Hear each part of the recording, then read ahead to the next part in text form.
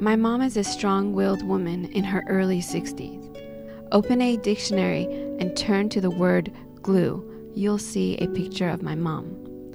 She keeps our family together. My mom has an open door policy. I can drop by for any reason just to have some tea or eat lunch. Holidays are the best days in mom's kitchen. The aromas of zereshk polo and adas polo make me want to eat everything the minute I step inside. In winter 2015, my mom was involved in a car accident in Denver. Daily, she struggles with chronic pain due to her injuries. The cortisone injected by doctors worked for a little while. Surgery is a last resort option. It breaks my heart to see her deal with extreme pain in her back and neck. Her day begins by waking up with pain and staying in bed trying to find comfort until late afternoon. Heating pads are pressed against her body with little or no effect. Ibuprofen barely helps and gives her stomach aches. As I rearrange her pillow, she tells me that she can't lift her arms over her head. The pain in her upper body is simply too much. My mom used to take English and psychology classes at Community College of Denver, but she stopped so she can focus on trying to manage her pain.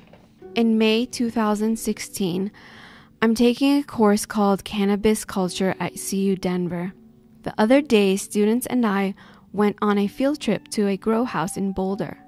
After the field trip, I visited the adjacent dispensary and purchased a cannabis salve. Cannabis salve is a topical ointment used for deep muscle relief. It is a hybrid and contains 14.2 milligrams of THC, 8.6 milligrams of THCA, and 7.5 milligrams of CBD.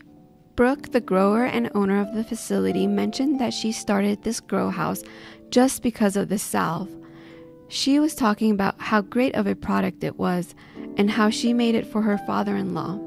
Brooke was in the process of making it, and it healed her psoriasis. Seeing it was such a miracle drug for her, I figured I would buy it for my mom. It was an impulse purchase, and I didn't think that the salve would reduce my mom's pain. When I returned home, I told her about the cannabis infused salve. She has always been anti drugs, and it didn't surprise me that she was uninterested to use the cannabis on her body. Several hours later, my mom was experiencing pain in bed. She said, مواد مخدر داری به هم میدی؟ I replied, نه این دوای گیاهیه و رو پوستتون میره. متاد کننده نیست و هیچ حس بدی نخواهید داشت. شاید هم اصلا کار نکنه. Without talking, she pointed to the area on her back where she felt pain. I applied it. Within minutes, she got out of the bed and said, Dardish ser shod. Standing upright, she lifted up her arms. I couldn't help but smile. A few minutes later, my mom and I are drinking cardamom and saffron black tea in the kitchen downstairs. She tells me, هیچ وقت فراموش نمی کنم خوبیاتو.